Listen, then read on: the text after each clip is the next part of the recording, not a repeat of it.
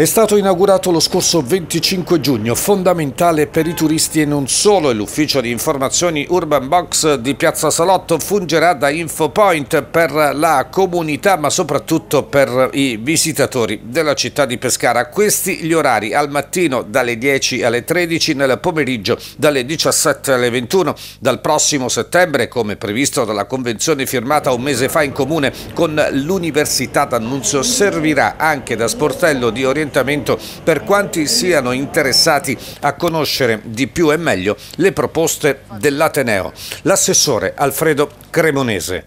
Potremmo dire così, meglio tardi che mai, però insomma era stato eh, chiuso per tanti anni, l'Infopoint è appena riaperto da un mese e le cose vanno piuttosto bene mi pare, no? Le cose vanno molto bene, in realtà Pescara ha da tempo un grande neo che è quello dell'informazione e non solo, è quello della promozione turistica.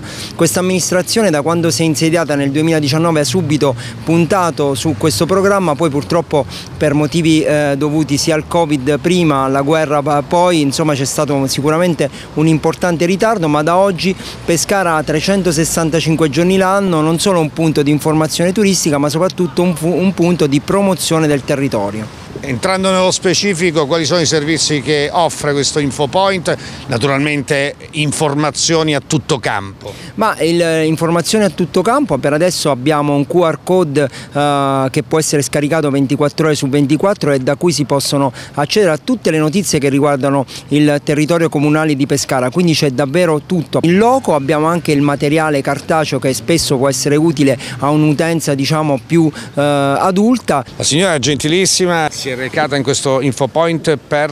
Delle informazioni su, sui treni visto che non, ho, non abbiamo la macchina, come ci si può spostare in zona senza coi mezzi, con il bus, il treno eccetera. Ho trovato insomma le informazioni che cercavo? Le informazioni che cercavo, sì. Da dove viene signora?